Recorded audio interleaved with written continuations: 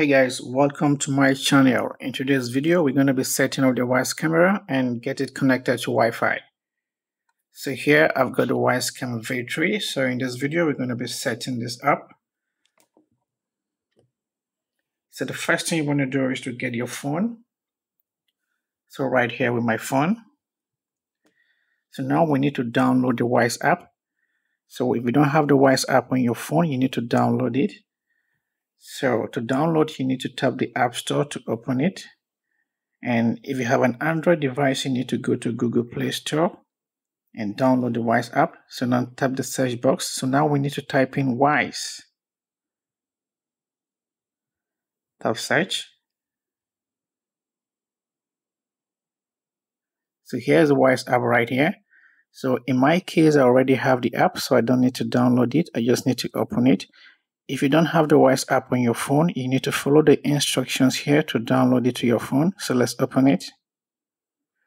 So now we need to log in. And if you don't have a Wyze account, you need to tap create an account and then follow the instructions to create a Wyze account. So let's log in.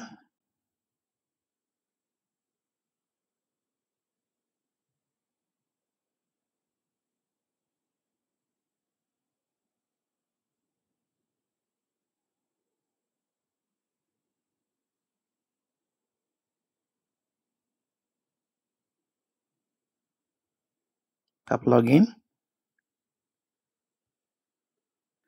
so now we are in. So tap the plus icon here and then tap add device. So select cameras. So now you need to select your camera. So in my case i'm adding the Wyze Cam v3 so tap Wyze Cam v3 plug your Wyze Cam v3 into a power outlet. So let's plug in the camera So the camera is plugged in. So you can see a red light here indicating it's plugged in. So tap next. So now you need to get the camera and check below the base here. So here is a setup button, press it. So you can hear that, ready to connect.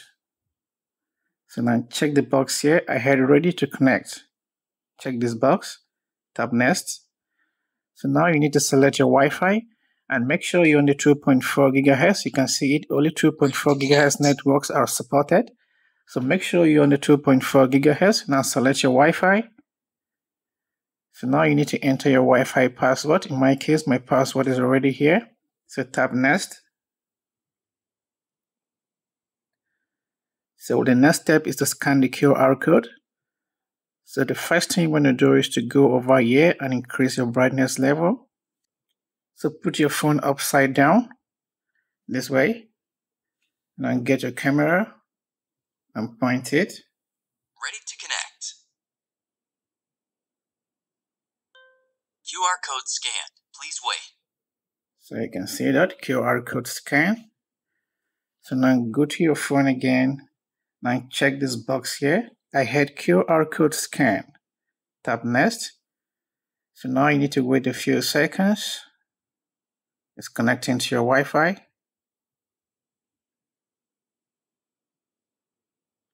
It's connecting. Setup completed. So you can hear that the setup is complete.